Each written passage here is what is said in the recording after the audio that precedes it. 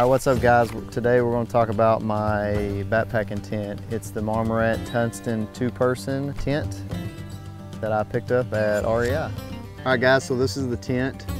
Uh, like I said in the intro, this is the Marmot Tungsten two-person tent. Uh, it does come with the footprint.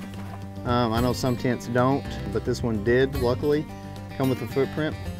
Uh, this is a three-season uh, backpacking tent.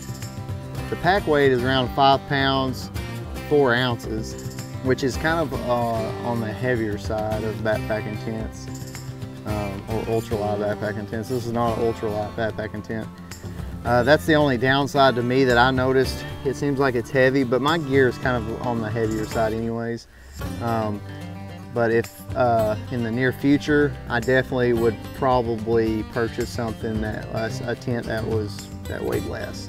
But I will say that for the price, I mean, this is a pretty good deal. I paid $214 for this. So um, this is a, it is a great, it's a great tent. Uh, me and my boy has had a few nights in it and uh, it's done, done good, done what it's, you know, supposed to do. Um, it sets up really quick. Um, the materials are seem to be holding up. Uh, I don't really have any complaints about that.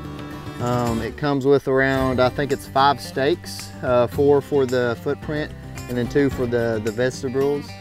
Uh, on the inside it has, on these four corners, um, a place where you can put uh, like a headlamp or some type of light that would diffuse and kind of uh, deflect the light in the tent. It's got a couple pouches down here on the head end um, for phone, whatever. Um, it does taper off um, so one side is a little bit wider than the, uh, the other side, obviously.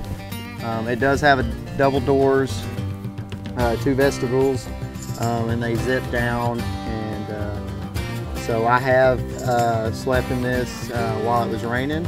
Uh, now it wasn't storming, but it, it, was raining pretty good, and it kept us dry. Um, it is a double walled tent, so this is with the with the rain fly on it, um, obviously. Uh, but if it was a nice night, you could just take the rain fly off and just uh, carry the, just the tent and uh, your weight would probably drastically uh, be lighter. I'm 6'2", uh, and around 215 and there's plenty of room for me. Um, I've never had another adult in there with me, um, but I'm sure it would be fine. There probably wouldn't be a ton of room. But me and my boy, uh, we, we both have plenty of room for me, him, and, and our packs in there at night. But all in all, uh, so far I'm loving the tent. Uh, like I said, the only downside is I wish it was lighter, but that's okay. Um, but so far we're loving it. Thanks guys uh, for checking out the video and uh, stopping by.